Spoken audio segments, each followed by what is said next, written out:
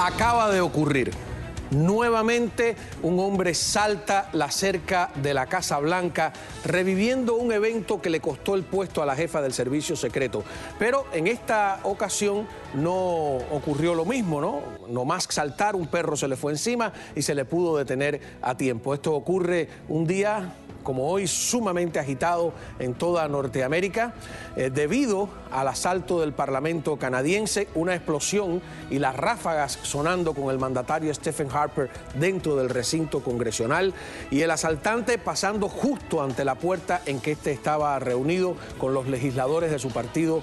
Minutos antes habían asesinado a un soldado que hacía la guardia de honor en un monumento cercano y también hubo disparos en un centro comercial colindante. El asaltante que murió dentro del Congreso ha sido identificado como Michael Sefad Divo, canadiense de 32 años con antecedentes de drogas y parece que recientemente convertido al Islam. Antes de ayer, otro neoyihadista atropelló mortalmente con su automóvil y de modo intencional a un militar en Quebec, coincidiendo con el hecho de que aviones canadienses se han sumado a la coalición que lucha contra el Estado Islámico. El mundo está revuelto. El terrorismo y las epidemias están tocando a la puerta. ¿Cuál es la mejor manera de enfrentar estos peligros? Los vamos a analizar aquí en el espejo.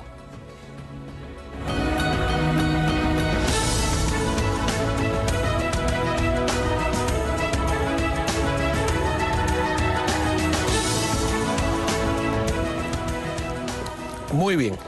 Eh, empezamos con nuestro invitado Daniel Rivera, Muchísimas gracias.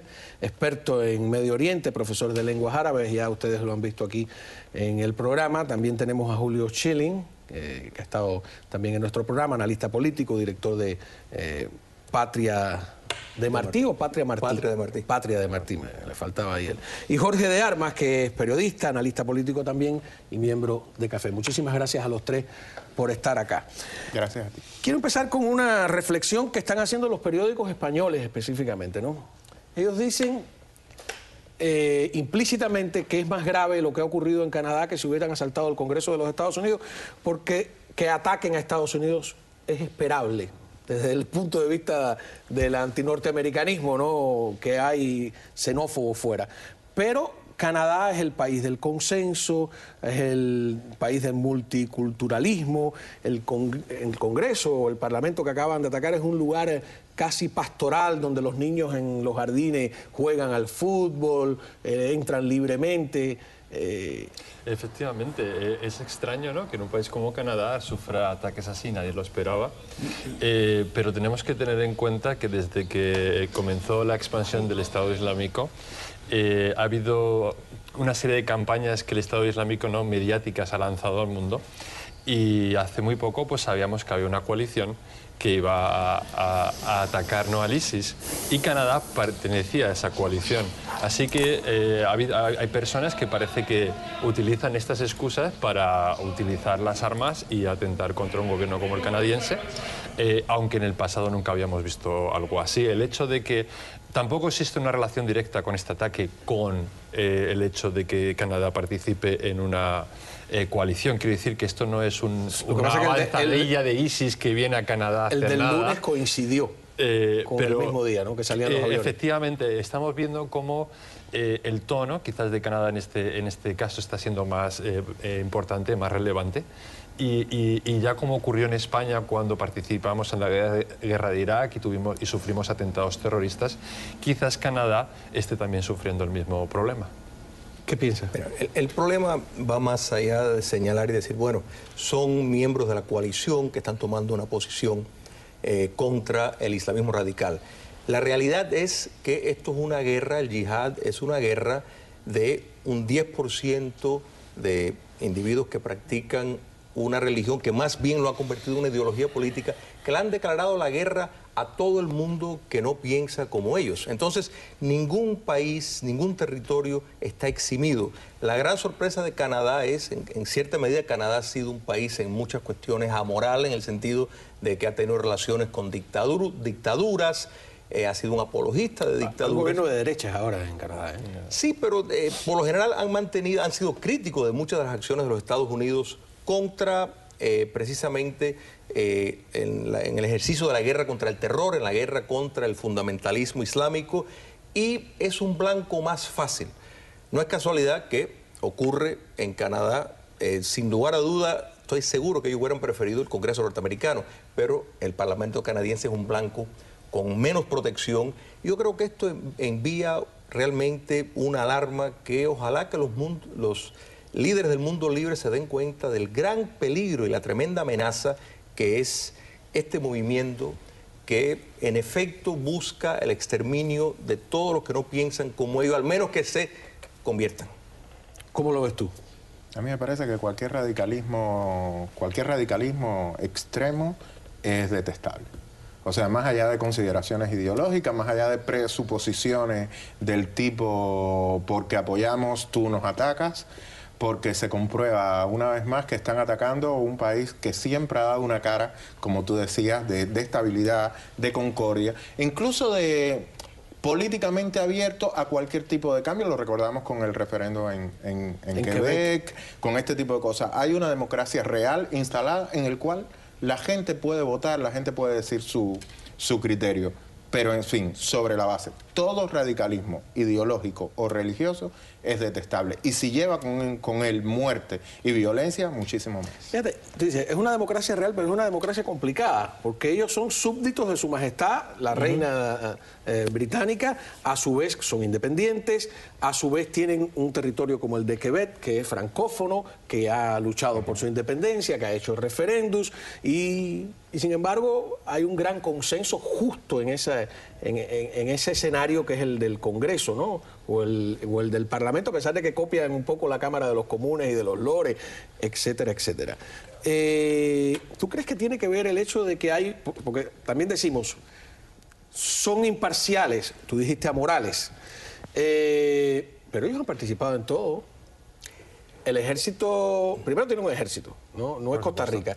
Han participado en Afganistán, han participado en Irak, están participando ahora, eh, no son tan no, son aislacionistas. Sí, efectivamente. Yo no creo que Canadá esté como aislado y no. Yo creo que Canadá ha sido un país prudente que ha intentado colaborar siempre donde ha visto que puede colaborar y, de la mejor manera. Eh, yo creo que lo que estamos viendo es una especie de moda, aunque resulte extraño así decirlo. Eh, se ha puesto de moda saltar la, verja de la Casa Blanca y poner y salir en las noticias demostrando que se puede hacer. Hay un asunto eh, sociológico. Ahí, yo creo que sí, efectivamente. Yo no estoy de acuerdo que esto es una, es una tendencia política del Islam en absoluto. En absoluto. El, el Islam radical es algo que yo sacaría de la, esfera política islamista incluso. O sea, este, yo no estoy de acuerdo que un 10% de los musulmanes son islamistas. Creo que estos son, eh, como estábamos hablando, una persona con problemas, que viene de un mundo de las drogas, que se ha convertido al Islam, no se sabe por qué. Eh, esta persona probablemente nunca ha, ido, nunca ha viajado a Oriente Medio, no tiene probablemente una buena educación en lo que significa el Islam y se deja llevar básicamente por las redes sociales, el contenido que ve en muchas páginas web, etcétera, para crearse esa imagen. Si le seguimos el hilo a ese análisis, ¿la culpa la tiene el mundo occidental entonces? Claro, no, no. ¿Cómo que quieres decir? Claro, porque entonces son los medios, las redes sociales, la modernidad, la moda. Lo, ¿eh? utiliza como que yo sé lo que le, yo sé por dónde él viene, yo sé por dónde viene y estoy de acuerdo, solo que parcialmente, porque las redes yihadistas tienen sistemas de proselitismo y entrenamiento muy concatenados que se demostraron el 11 de marzo en Madrid, que yo todavía estaba en Madrid y bueno, lo vivía en primera en primera persona, o sea, yo vivía en el centro de, en el centro de Madrid trabajaba en Alcorcón. O sea, Tú que mencionaste España, más adelante te tengo unos videos de España. Bueno, eh, pero sí creo que, que el yihadismo tiene además un amplio poder de captación en zonas marginales y que están en pleno descontento con la sociedad. Y a partir de ahí sí se benefician de las redes sociales y de los sistemas de comunicación globales. La otra pregunta es si estamos desde aquí, desde el, si el gobierno norteamericano específicamente está cometiendo errores como este, de que se lanzan armas eh, ¿no? y pertrechos para los kurdos y terminan en manos del Estado Islámico. Vamos a ver esas imágenes. Aquí estamos viendo, bueno, las famosas armas lanzadas con los paracaídas y lo, quienes los están filmando no son los kurdos, son los miembros del Estado Islámico vanagloriándose de que realmente, o ¿qué pasa aquí? ¿Apuntan mal? Eh, tienen un deficiente sistema de inteligencia que no saben dónde está el enemigo y dónde está el amigo, eh, o estos errores son comunes en la guerra. esto, esto, me recuerda cuando los Estados Unidos pues estaba en, la, guerra del Escambray, pues las armas iban la tiraban en lugares equivocados. Yo creo que esto no se puede desprender, o sea, el, decir, bueno, eh, porque está con problemas de droga, es añadirle un tono eh, social. estás volviendo al tema. Volviendo al tema, correcto, volviendo al tema. De que el asaltante en Canadá es un canadiense de 32 años. Eh, Pero hay una atracción ideológica, hay una atracción ideológica, es un sistema de creencias que realmente capta porque en cierto sentido la democracia en el mundo libre a veces... Por ejemplo, cuando estas imágenes se ven a través de, de, las redes sociales, a lo mejor lo que tú estás diciendo, están burlando del mundo occidental. Bueno, efectivamente, el problema que vemos con estas imágenes es un poco la estrategia que se ha, se ha, tomado ¿no? en este caso, que es eh, lanzar el material a los rebeldes eh, kurdos. ¿Qué ocurre? Eh, de, creo que fueron 28 paquetes de este tipo, o creo que alrededor de así, uno de ellos pues cayó en el lugar equivocado. Si lo piensas, están mandando desde avión eh, eh, paracaídas. Tiene un 99% de efectividad. Claro, pero tiene también pues, los cambios de viento, puede ser un cambio de viento o un, problema de inteligencia. A lo mejor no sabían exactamente que esa zona estaba eh, bajo el control de ISIS. Pero si a eso le sumas que en el pasado también le dieron armas al Estado Islámico para que luchara contra el, gobierno de Siria, es como una confusión que no sabemos ya a quién se apoya o a quién no. Eso, eh, evidentemente, yo, yo no voy a juzgar los servicios de inteligencia norteamericanos. O sea, no los voy a jugar. Pero evidentemente ha habido descoordinación en este tipo de, de, enfoque y sobre todo falta de previsión hacia dónde pueden llegar los radicalismos. O sea, aprovecharse de los radicalismos siempre conlleva el riesgo de que se viren contra ti. Pero mira, ISIS, ISIS destaca, o sea, lo bueno que tiene esto es que le deja al mundo ver un rostro claro de la barbarie, porque no es que esto empezó con ISIS en el 2013, realmente la hermandad musulmana lleva años penetrando instituciones en el occidente con los mismos propósitos, pero con otra metodología. Vamos a ir a una pausa. Cuando regresemos, eh, vamos a incorporar el tema del ébola y de lo que está pasando en España, en Ceuta, en Melilla. Tenemos unas imágenes asombrosas de lo que está ocurriendo allí. Los dejo con un avance. Es uno de los al menos tres inmigrantes que ha logrado cruzar en el salto de esta mañana. 300 lo han intentado, 140 se han subido a la valla y allí han resistido, bajándose y volviendo a subir. Desfallecidos o peleando.